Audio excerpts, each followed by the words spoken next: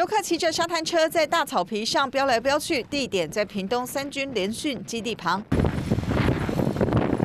目测来去穿梭沙滩车十几二十台，数量惊人，引擎声轰轰作响，车子都没有办法行驶在道路上面哦。我刚刚有跟你讲，对，晚上也也做生意，白天也做生意，引擎声还有他们车子的声音，还有他们喊呐的声音。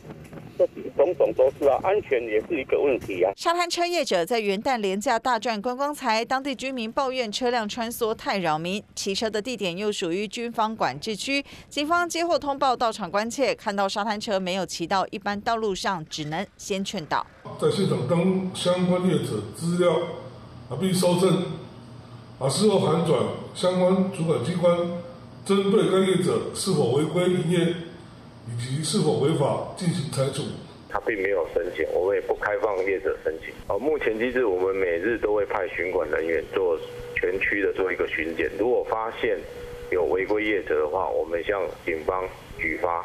军方在强调，管制区没开放任何业者申请营业行为，加派人力每天不定时巡查。只是三军联训基地占地辽阔，在非演训时段里无法严格监控民众禁止进入。遇到廉价特别多游客骑着沙滩车狂飙的场景，再成当地居民心中的痛。三立新闻朱俊杰、翁玉文，频道报道。